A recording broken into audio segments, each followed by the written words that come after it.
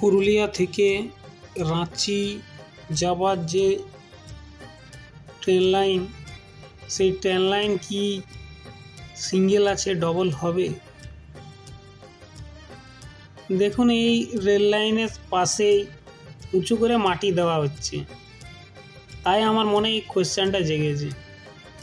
যে double line হবে কি আদৌ?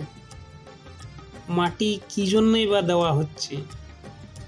আমি বিকালের দিকে ঘুরতে এসেছিলাম, তাই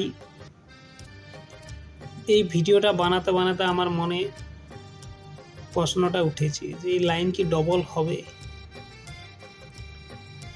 এই ভিডিওটা দেখে সবাই বলবেন যে এই লাইন কি সত্যিকারের ডবল হবে? দেখুন ট্রেন আসছে। ডবল হলে আরও এই লাইন ব্যস্ততম লাইন হবে। আপনারা সাবস্ক্রাইব করবেন আমার ইউটিউব চ্যানেলকে।